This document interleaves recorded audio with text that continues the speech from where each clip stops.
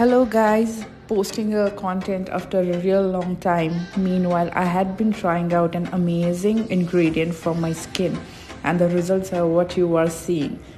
The L'Oreal Paris Glycolic Bright Range. Glycolic acid is an alpha hydroxy acid derived from sugarcane and can help with frequent breakouts. It creates a peeling effect that can make the skin appear smoother and more even.